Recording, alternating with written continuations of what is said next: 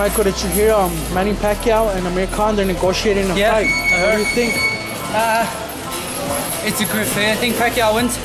Though I'm a bit disappointed because I was hoping Australia or UAE April 22nd. Yeah. That's where I would have been next, but it doesn't seem like it's likely at the minute. So a bit, a bit Are- pissed off. Are you looking forward to fighting on his card? That's, that's a possibility. Oh yeah, definitely. My Pacquiao's one of my favorite fighters, so of time, like so. You know, Can you hit the bag like him? Try.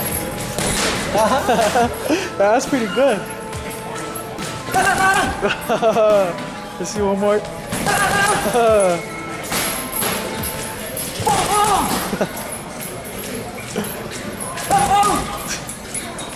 is that okay? Is it good? That's real good. That's on him, man. That's perfect.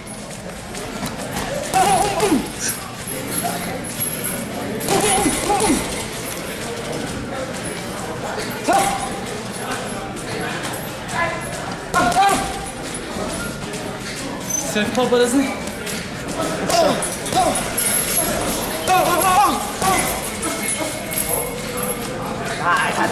That's good, bro. That's that's real good.